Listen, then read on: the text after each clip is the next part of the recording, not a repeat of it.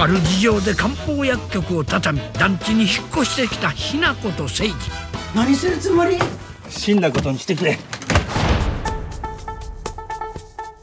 2ヶ月も誰も一度も見かけへんのですよ。殺されてると思う。嘘はよせありえない。そんなことありえないということがありえるのが団地でしょ？準備万端バルタン星人。大事なお願いがあってきました妙な立ち居振る舞いをする謎の青年が加わり事態は予期せぬ方向へ。限界。ああもう限界。ここで人を待ってるだけやから。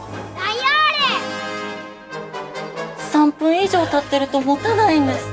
実はそこには想像を超える秘密があったのです。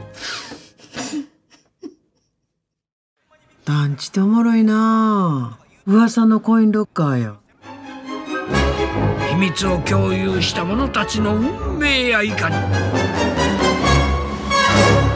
団地。いらっしゃい。